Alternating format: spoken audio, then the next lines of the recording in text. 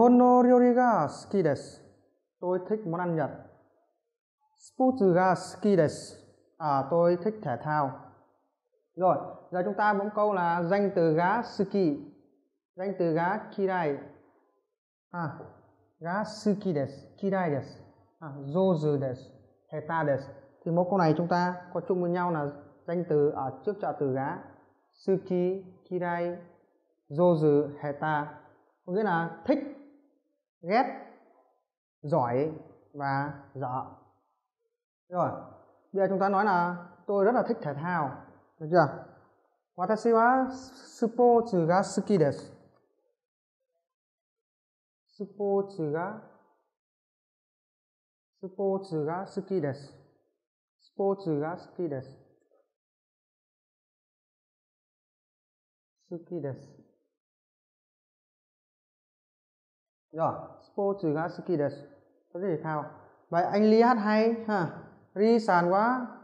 Uta ga zozu desu. Ri sàn quá. Uta ga zozu desu. thì khi mà tiếng Việt của mình mình nói là anh à, anh Ly hát giỏi nhưng thực ra nó là khi chúng ta dịch là anh Ly hát hay rồi là chán như là ai đó nấu ăn ngon thì chúng ta nói là à, Ryori nam sàn quá Ryoriga Zozudes. Thì chúng ta lúc ấy chúng ta dịch là chúng ta không phải nấu ăn giỏi mà bạn nam nấu ăn ngon. Nhưng mà khi vào câu tùy từng tùy từng câu mà chúng ta phải dịch ra sao cho nó suôn sẻ ha chúng ta không là dịch là à, anh Ly hát giỏi mà chúng ta nói là anh Ly hát hay. Như vậy thì mẫu câu của chúng ta như vậy dịch ra như vậy nó suôn hơn.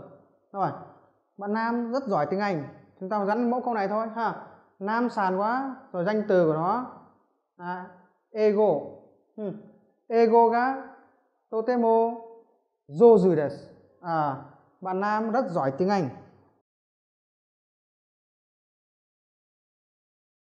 Nam sàn quá. Rồi giỏi tiếng Anh ha. Ego ga zozu desu rồi. Nam sàn quá, ego ga zozu à bạn nam rất là giỏi tiếng Anh. Thì chúng ta rất này thì chúng ta còn có thêm những cái phụ hòa như là totemo zozu rất giỏi, ha. Còn nếu bạn nam giỏi tiếng Anh, còn muốn từ rất nữa thì chúng ta thêm totemo đằng sau trợ từ gá này vào. Thì đương nhiên là nam sàn quá, ego ga totemo zozu rồi, thì à, cái nghi vấn từ của nó thì cũng tương tự nhau thì chúng ta gắn vào kirai suki zozu heta ha. Donna ryori ga suki desu ka? Bạn thích món ăn gì? Bạn thích món ăn gì? Được chưa? Chẳng như là nihon donna ryori ga suki desu ka? À, bạn thích món ăn nào ha.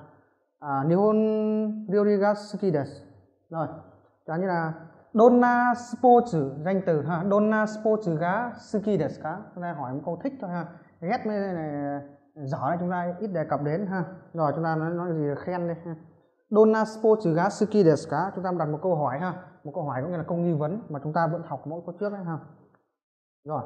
Dona sports sports ga suki desu ka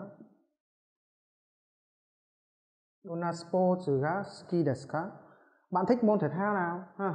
Soccer desu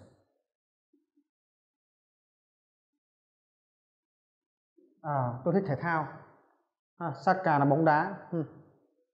bạn thích môn thể thao nào? Bóng đá. À, ha soccer des. Đó chúng ta đặt một câu hỏi ở trong này. Ha rồi. Donna Ryori ga desu ka à, bạn giỏi nấu ăn món nào? Ha chúng ta kể cái món ăn này ra. Được chưa? À, bạn ghét bạn ghét ai? À, cũng có thể gắn mỗi câu này vào được. Đó mỗi câu này chúng ta có thể gắn được rất nhiều những cái có mặt ở trong cuộc sống.